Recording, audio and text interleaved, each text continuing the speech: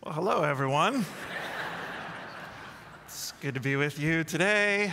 Uh, my name is Jeremy Irwin. I'm the lead pastor at our Hanley Road Church, and uh, they roped me into this one.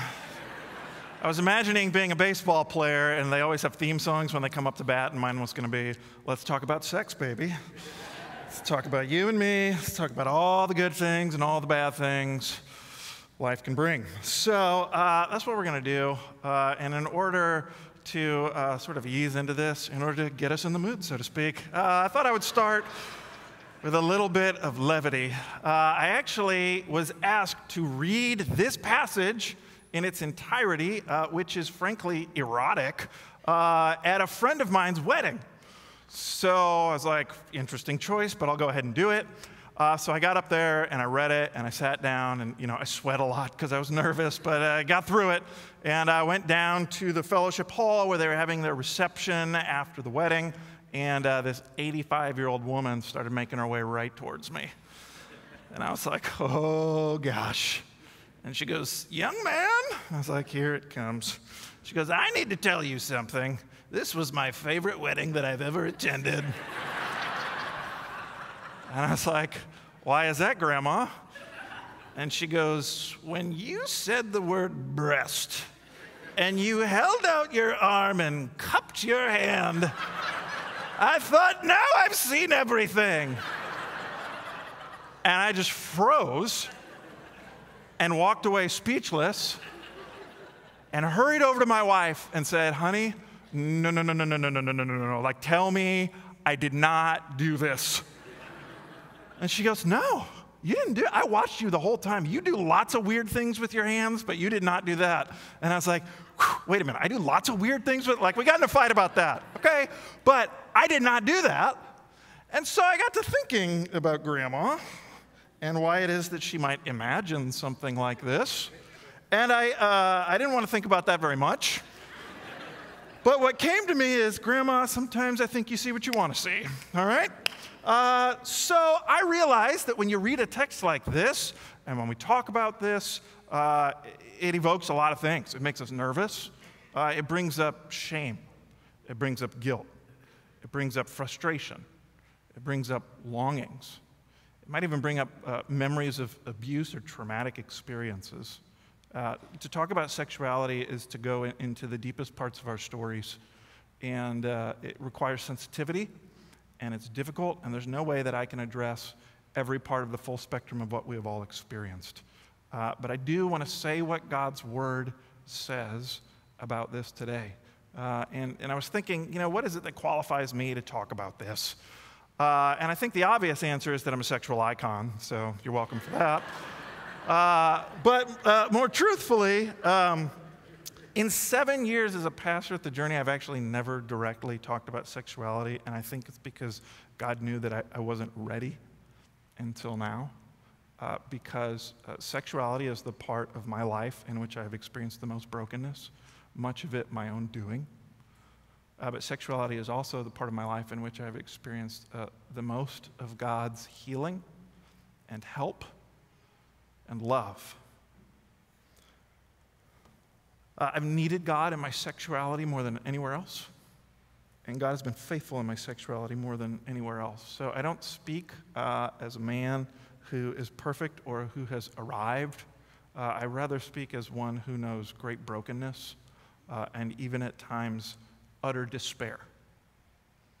Uh, but I also speak as a man who has experienced uh, recovery from addiction, power freedom, and even at times utter delight.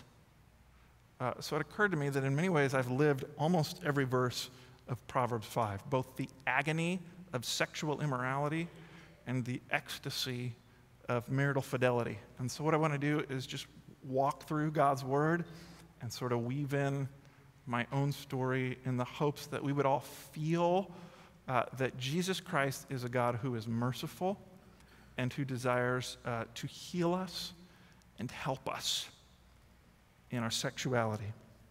Uh, so I've broken this text down into three parts so that we can follow it easily, and we'll just walk them together. I'll tell you what they are right up front, and then we'll go through them. Uh, the first six verses, uh, we have a temptation, right? It's a father who's warning his son about sexual temptation. Uh, in verses 7 to 14, the father talks not just about the temptation, but the trap. He warns his son about the consequences of sexual immorality. And then in verses 15 to 20, we have uh, the turnaround. It's a father who is urging his son to cultivate a great sexual relationship with his wife. So it's the temptation, the trap, and the turnaround. That's what we'll go through. So I'll start with the temptation. Uh, here's what it says in verses 1 and 2. And if you have your Bibles, you can look or read along.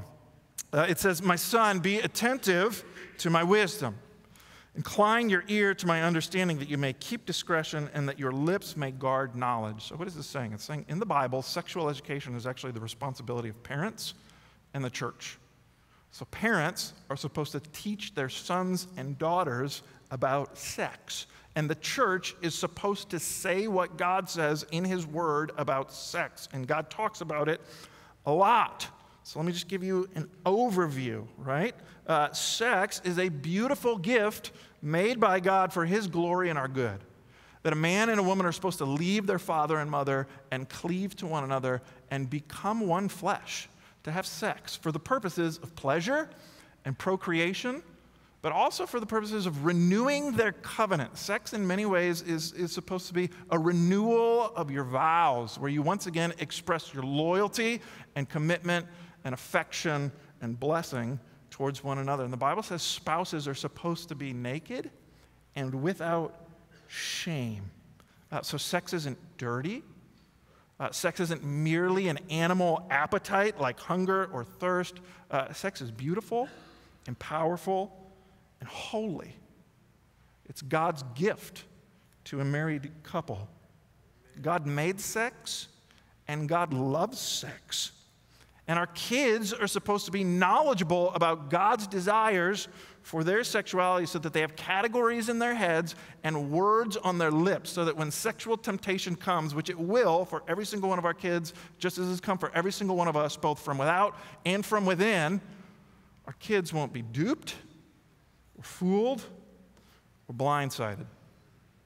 Right? So uh, here is the Christian sex ethic. Uh, C.S. Lewis states it brilliantly in Mere Christianity. Uh, this is what he says We must now consider Christian morality as regards sex, what Christians call the virtue of chastity. And this next sentence is one of my favorite lines in all of Lewis. He says, um, Chastity is the most unpopular of the Christian virtues.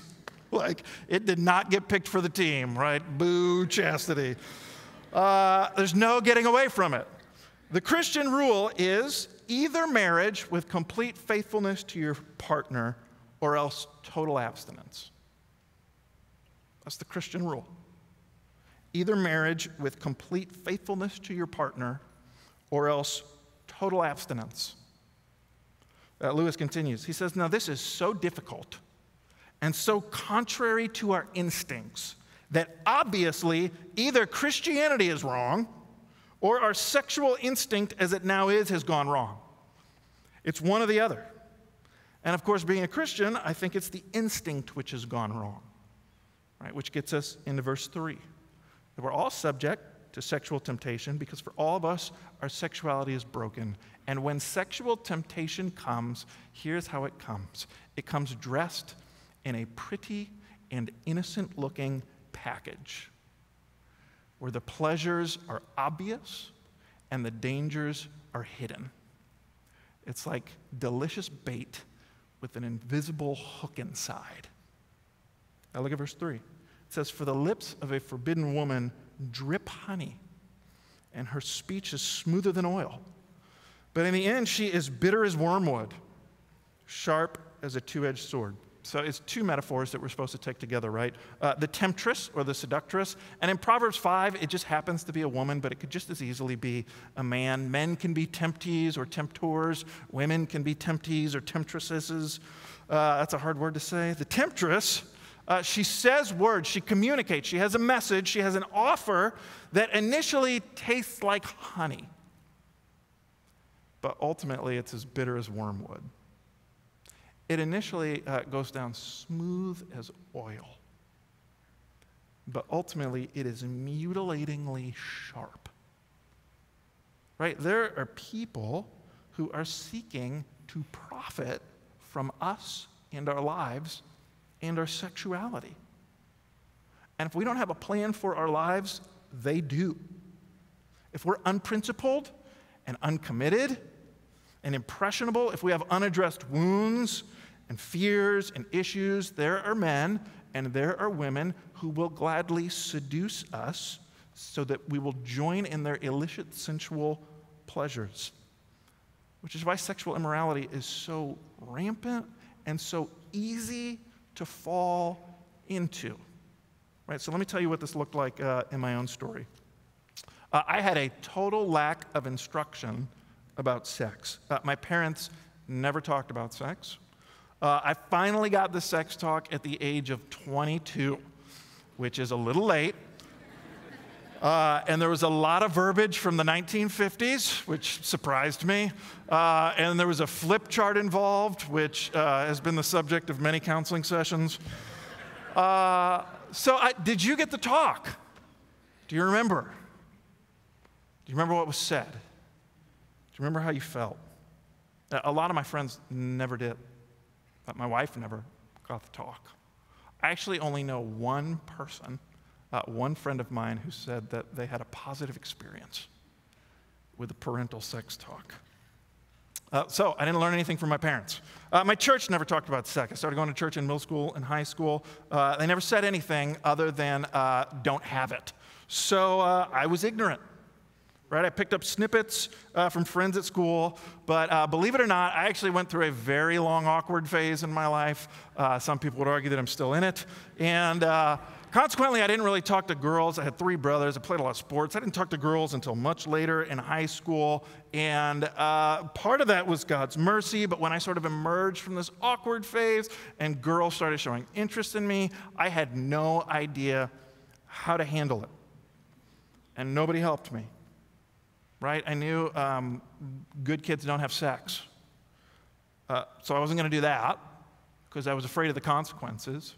Uh, but I was pretty interested in anything and everything leading up to that. Uh, and by the time I got to college, which I started in the year 2000, uh, they had just installed high speed internet in all of the dorm rooms for the first time. Uh, and internet filters had not yet been created. Uh, so you have a young man, unprincipled, away from home for the first time, lonely, insecure, uh, in a stressful new environment uh, with tons of free time on his hands, and a new girlfriend who is not a Christian who wants to press the gas pedal on our physical relationship. And I have unfiltered, unfettered access to internet pornography 24 7, five feet from my bed. I mean, do you see what this is a recipe for? And this is so common. So I resisted porn and her for a while. And it started so slowly, so innocently, right? We would watch movies on the couch and lay down together and make out and would progress. Or I would get on sports sites and then I would click on the swimsuit issue, right? And just scroll through a couple pictures. I mean, it was innocent, right? It's totally justifiable. I love beauty. These are beautiful women, right? I'm a red blooded American male. Uh, I'm visual. I'm a guy. This is what we do. I'm just looking. It's not like I'm having sex with anyone. They obviously want to be looked at, or else they wouldn't have taken the picture, right? These are all the things that I tell myself it's just five minutes here and there. I can control it. Uh, it's an escape from my boredom, uh, my pain my loneliness, my homework. I feel alive in some way, and my girlfriend has said she's cool with it. So, what's the big deal? What's the harm? Tastes like honey, smoother than oil. But he says, Son, listen to me. You have to ponder the path of life. And you have to be on guard. And you have to be wise. And you have to have a plan for your purity, or else you will fall into this easy and terrible trap.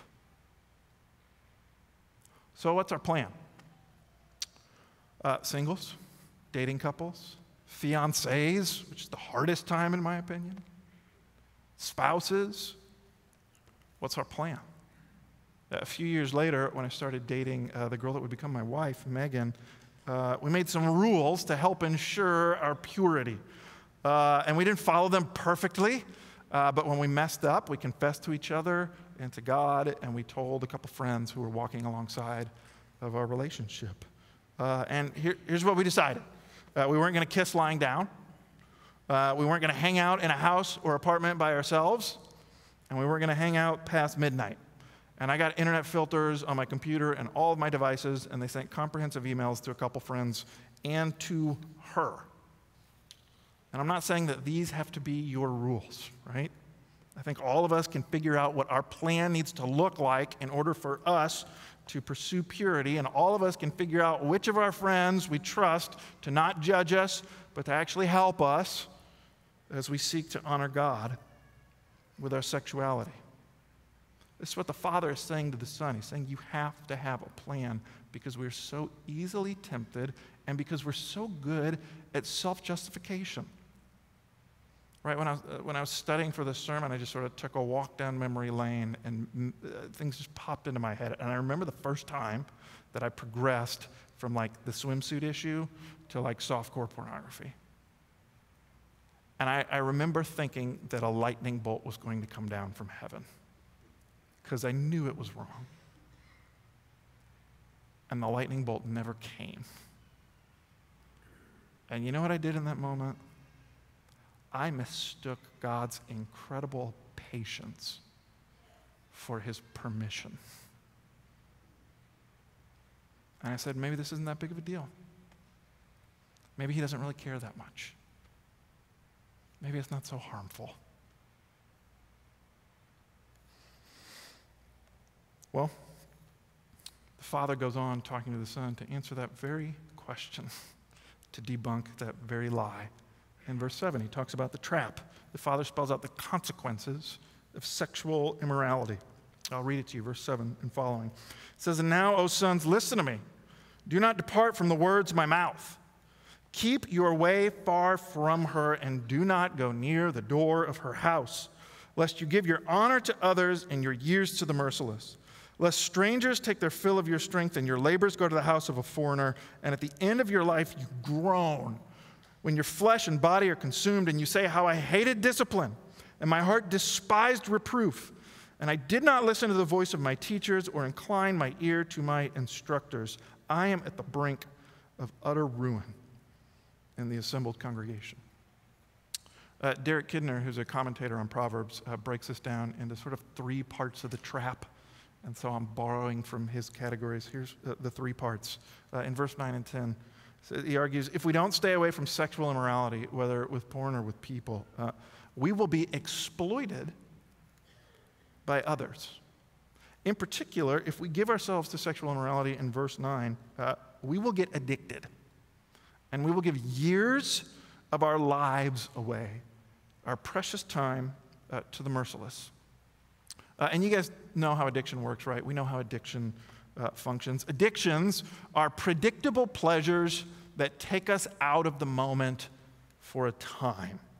That we have some sort of painful experience, either in our recent past or in our distant past, and we want relief. So we find these substances or these behaviors that give us some temporary relief, and we feel good for a little while, but they don't solve a problem. In fact, they make it worse. So, what do we do? We go back for more.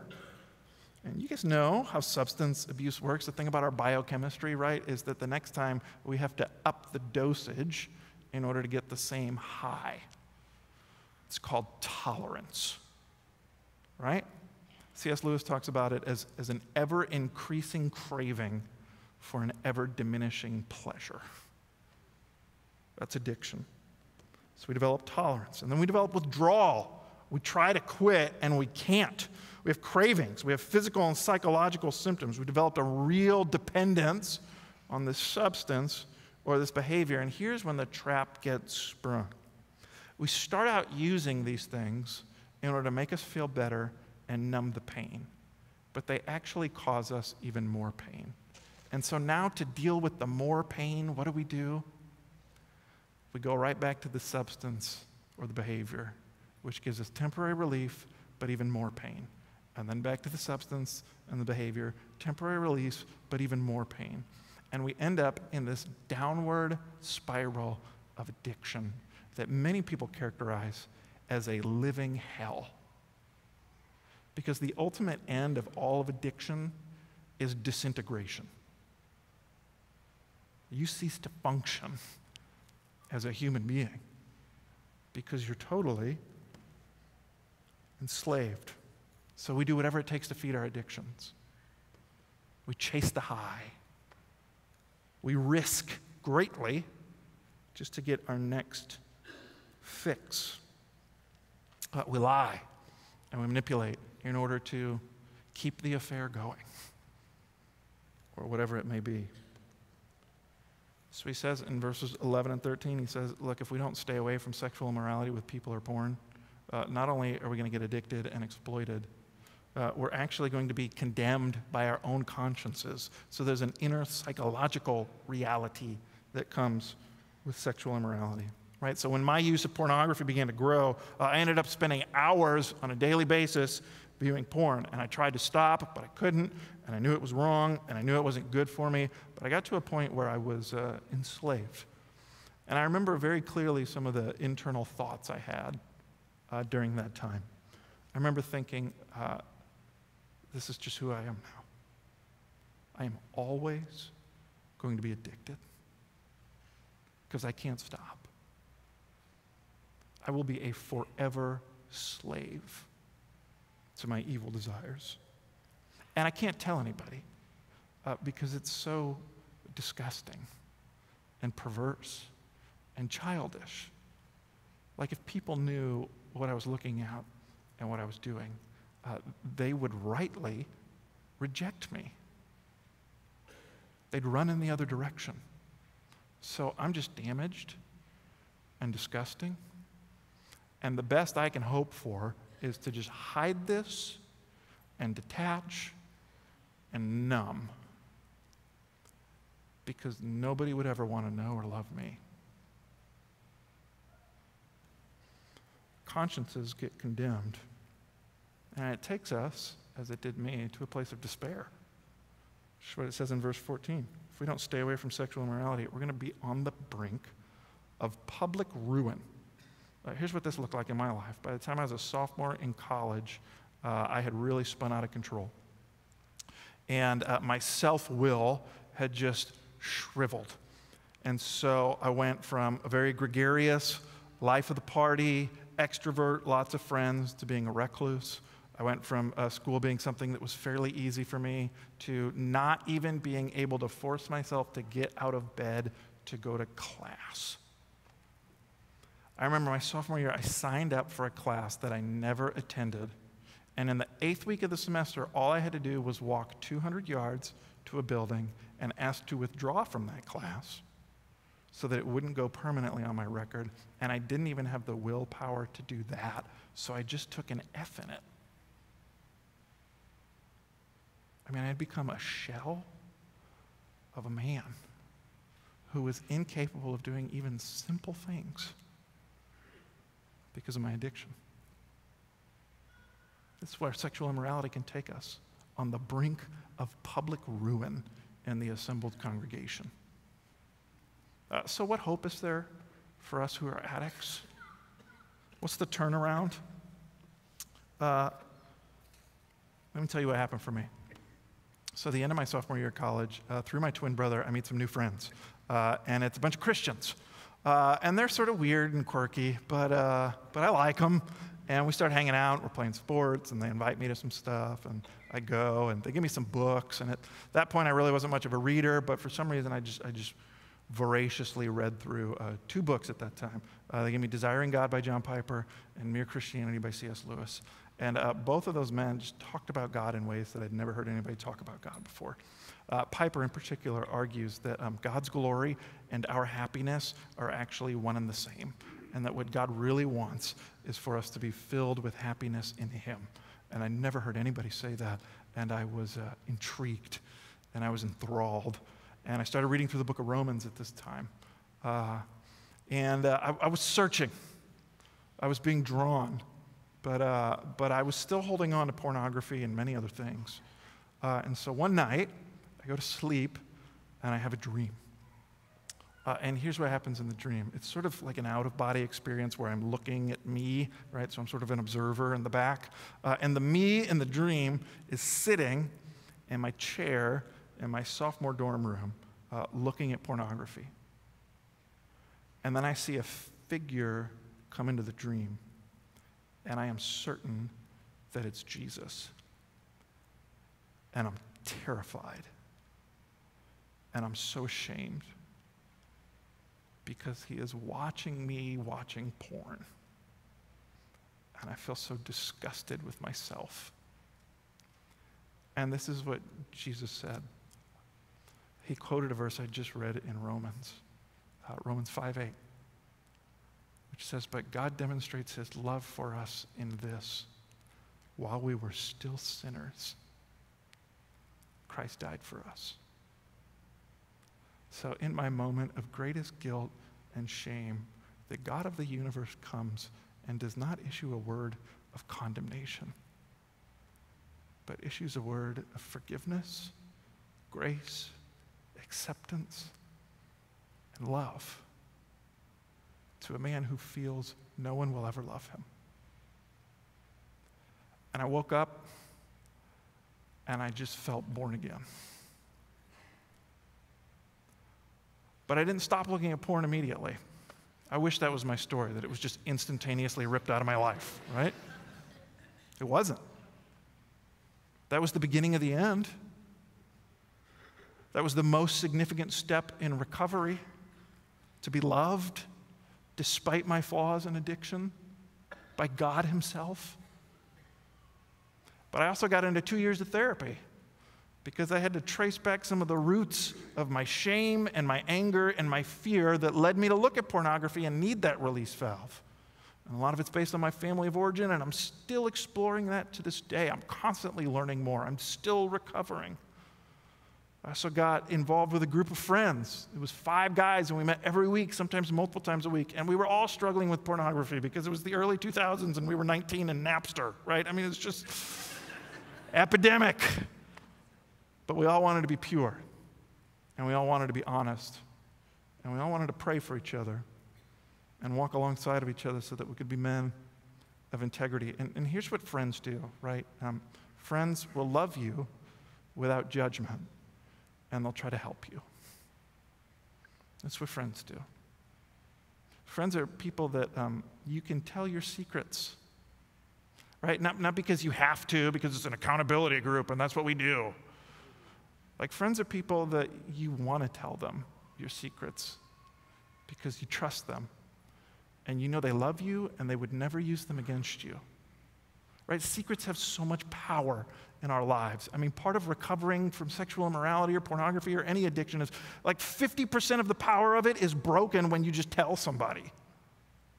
Because secrets have so much power and vulnerability and confession rob them of their victory in our lives. So I met some great Christian friends and we walked together. I also, I'd spent so much time doing like evil things with my hands that I, I wanted to like do beautiful things with my hands. So I bought a guitar uh, and I spent hours, instead of looking at porn, I spent hours learning how to play the guitar. Uh, and I'm still not very good at it but it was a way to take uh, ashes and to bring beauty out of them. Uh, I, I, don't have like, here's the 10 steps to biblical recovery. I think it's different for everyone. Uh, but that's some of the elements that God used uh, in my life. Um, and like, so the conclusion of this sermon is not, uh, you know, recovered from porn, got married, and um, marital sex has just been easy and awesome and four times a week, and so should you. End of sermon. Uh, like, that's, That's not uh, how things have happened, right? There have been long term, lingering effects of my sexual brokenness uh, that have still invaded our marriage, that we're still working through in counseling as of two weeks ago. Uh, and this is what the father argues with his son. He, his, final point is look, a great sexual relationship doesn't just happen. Right? Like, what other great thing in your life just happened?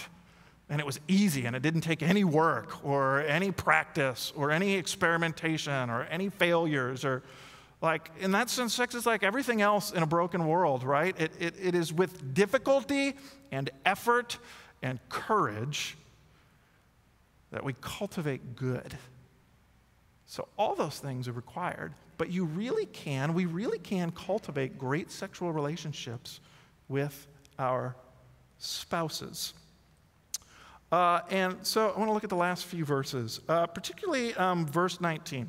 All right, so uh, Bible translators get really squeamish about how unashamedly erotic the Bible is. And uh, like the Bible is NC 17 at certain points, right? Uh, there are parts of the Bible that, like, the Jews did not let uh, people read them until they turned 30 years old because they were nervous about what would happen if they read them. Uh, so if you were to translate literally what verse 19 says and you didn't gloss over it because it made you uncomfortable, uh, this is what it says. It says, May your wife's nipples make you drunk.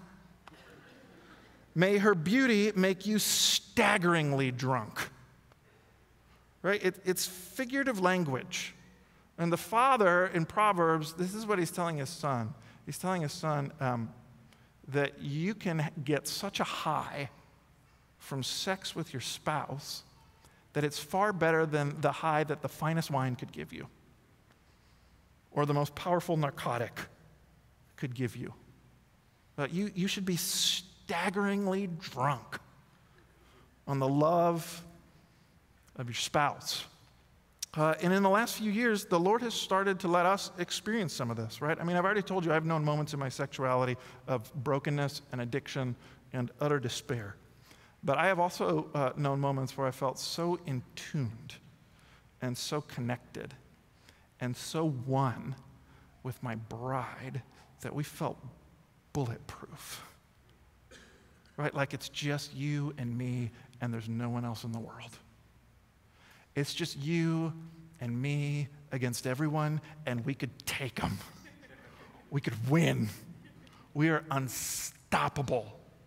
We are at total peace with ourselves and the world. We're naked and unashamed. We are love drunk. Uh, I want to end just with a story of God's love and faithfulness uh, at a time in my life where I was feeling really frustrated on a whole bunch of levels. Uh, I felt like I had just been betrayed. I was uh, exhausted. I was really tired. We had just had our second little girl, and those of you that are parents know that there is a time after your wife gives birth where sex is just not going to happen. Uh, so it was just a difficult period, and I could feel within myself uh, that I was getting sulky and angry and self pitying, and I could feel the allure of pornography coming into my heart and life as something I deserved and needed and that would provide relief. Uh, and that made me terrified. So I did something I'd never done before. Uh, I took a silent retreat. I just went for a day and a half, uh, and I just spent it with the Lord, crying out for help, uh, asking Him to talk to me, to speak to me, anything He wanted to say. Uh, and I'd never done this before. Uh, I had a whole day and a half of like unstructured time, which never happens for me. So I just followed whims. And one of my whims was uh, I went to a park and I walked down a trail and I saw a tree and I'm like, I'm going to climb that tree. So I did. Uh, and I was on this tree over a creek looking at a stream and praying. Uh, and we have a picture of it. Uh, I took a picture when I was up there. Uh, and here, here's what I saw before me, right? Uh, it was late September. I saw leaves falling down into this sort of like gentle, wide part of the stream.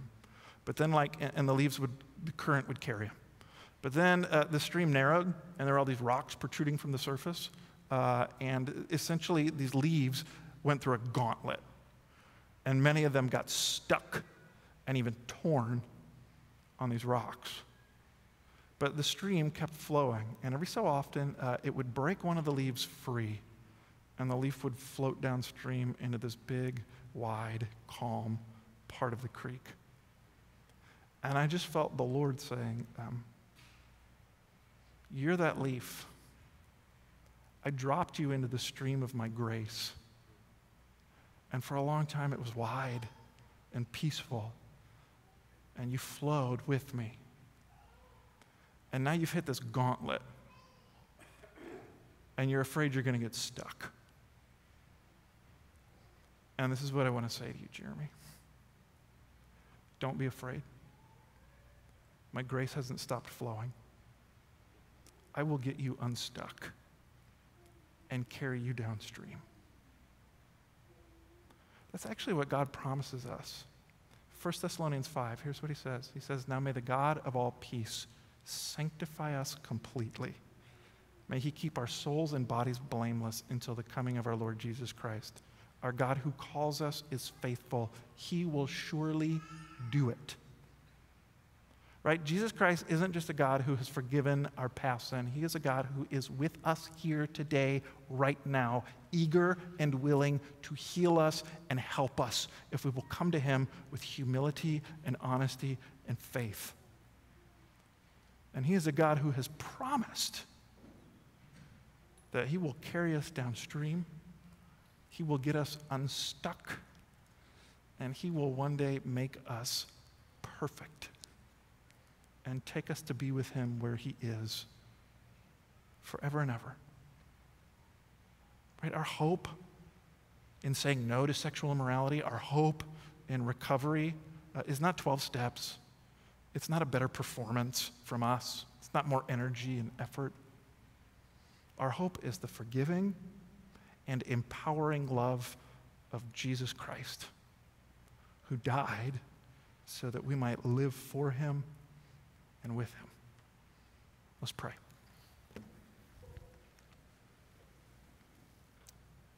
Uh, Lord, we just need you.